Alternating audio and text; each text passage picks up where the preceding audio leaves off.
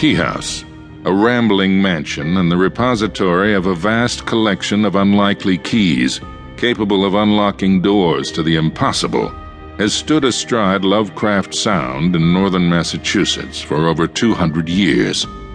For generations, the Locke family has watched over the house and guarded its secrets.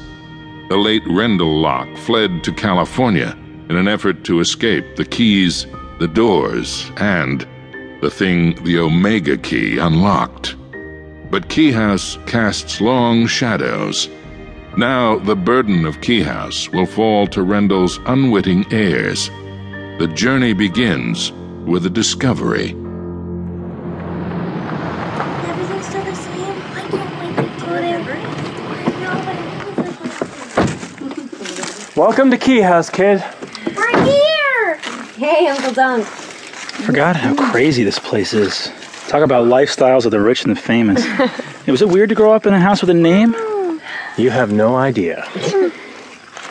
So, uh, what now? Now everyone bugs out for 10 minutes. We've been stuck inside a car with Bode for most of three days. Sanity went out the window somewhere around Idaho. Yeah. we have all afternoon to sweat over suitcases and boxes. Go on. Everyone, get lost for a while. Good place for it, getting lost.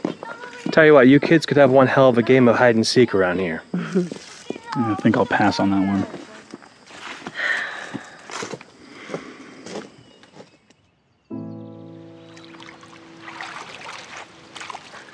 I forgot about the pool. Hmm. Ty. Tyler. Want to go inside and look around? We get to pick our own bedrooms. You're oldest. You could pick first. I'll just throw down wherever. What's holding you together? I mean, I've cried about a thousand times. I know you and Dad butted heads a lot, but you were like Christ, like his favorite or something. Oh shit, here I go again. Whatever I was to him, I wasn't worth it. Tyler, you okay? What are you looking at down here? Nothing. Water. Nothing. Where's Bode? I haven't seen him since we got out of the car. I think he went to explore. You know, he hasn't been here since he was two.